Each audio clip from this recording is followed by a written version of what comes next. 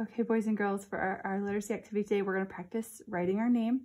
Um, I had to film this inside because it was so windy outside, but this is a really great activity to do outside because we're going to use nature to write our names. So um, you're going to take this big piece of white construction paper that's in your packet and um, you're going to write your name on it. If you need a little help, your mom or dad can help you to write your name.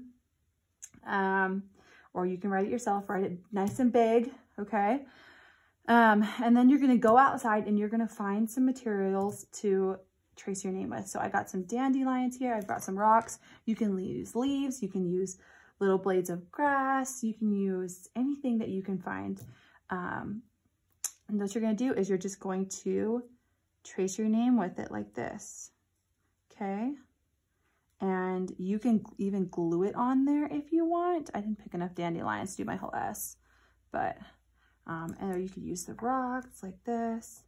Um, if you're using leaves or um, grass or these little dandelions, you can try gluing it on there or taping it on there if you want.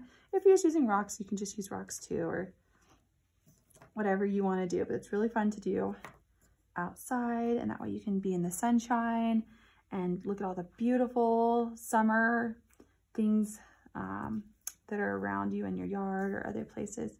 So that's what you're going to do for this activity.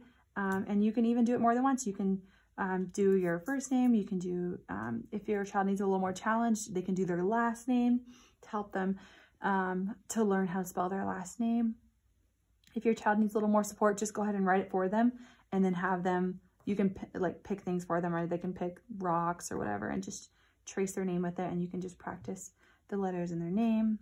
Um, another thing, if they need more challenge, you can um, you can have them write it. Um, and then you can have them just like gather all of their own materials, do all that kind of thing. So um, this is a really fun activity to do and hopefully you get lots of nice sunshine and have fun doing it.